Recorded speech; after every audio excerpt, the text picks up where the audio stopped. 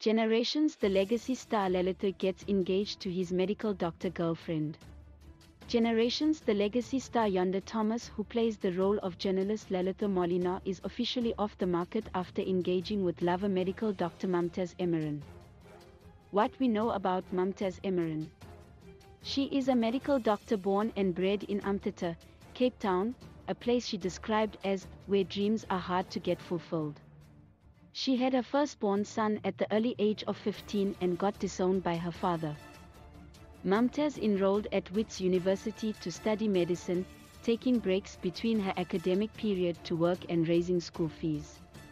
Everything worked according to plan until she found a sponsor, a trust foundation who promised to pay her school fees. Unfortunately, the foundation lost money and failed to meet the school fees obligation.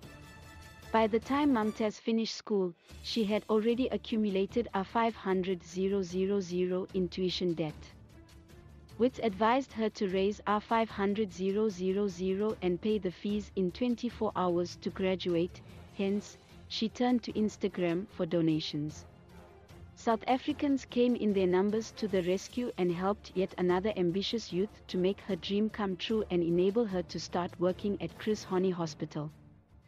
On the donations, Mumtaaz Emeran revealed that she managed to get over a 500,000 and plans to channel the rest towards a foundation targeting vulnerable children to pay their school fees. When I go to work, I will give my all knowing that these people made me the doctor I am, without their donations, I wouldn't be here.